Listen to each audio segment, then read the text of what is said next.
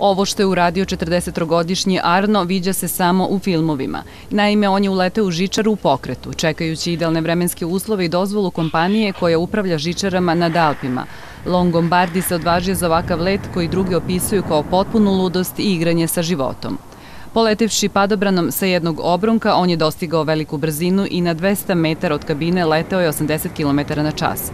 Francuz je morao precizno da odredi trenutak kada će smanjiti brzinu na 30 km na čas i na tačnoj udaljenosti od kola.